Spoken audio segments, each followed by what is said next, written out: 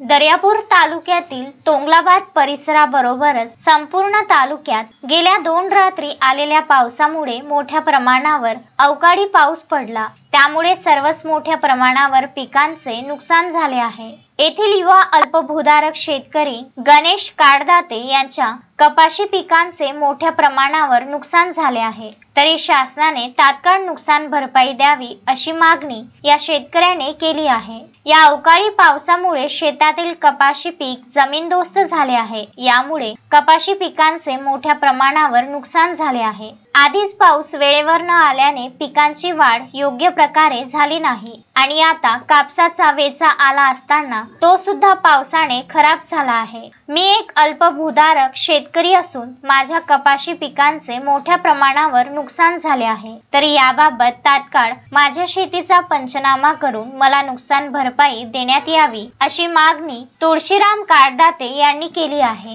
दिवसाच्या पावसामुळे शेतकऱ्याचं खूप नुकसान झालेलं आहे. तरी शासनाने लवकरात लवकर पंचनामे करावं.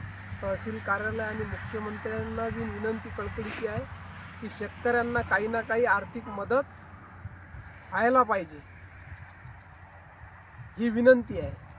गजानन देशमुख विदर्भ न्यूज दर्यापूर.